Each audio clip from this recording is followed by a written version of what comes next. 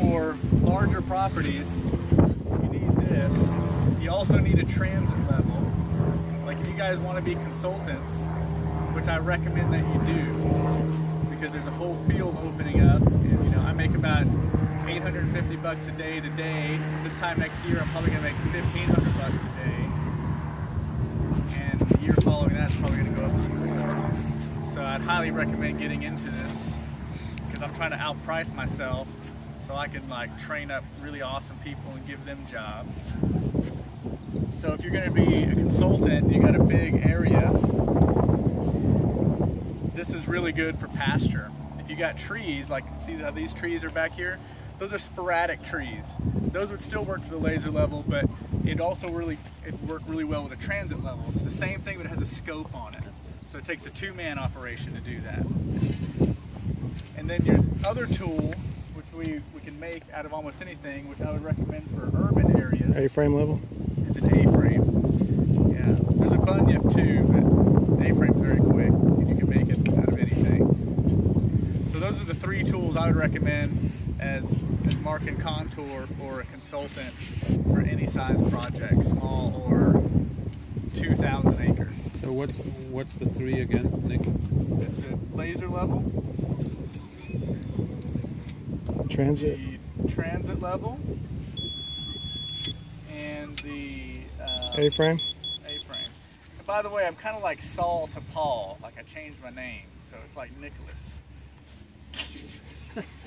Was it getting too confusing It was just so confusing. with the other Nick and you were What? How far will that reach? They say it goes about 800 feet. I've taken it pretty far. Wow.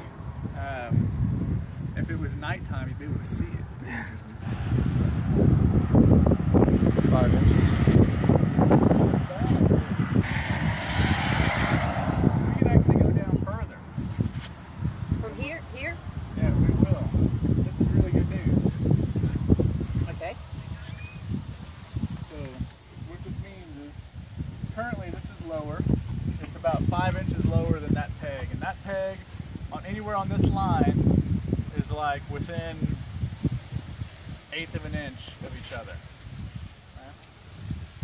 So that's five inches below that. So if we dig that down 12 inches, that will be what, six inches below this, Right. plus or minus. So it'll have to flow here first, then dump into this swale. This is a better scenario because I was just at a place where we had to dig five feet. Five feet to proper overflow. This is it's a lot.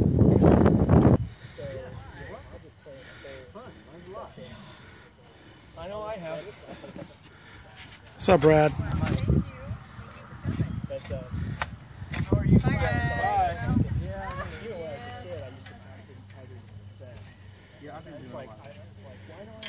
have a cultivating all these aisles? I want to grow something in there. So I would always plant two rows and then have an aisle, or two rows and then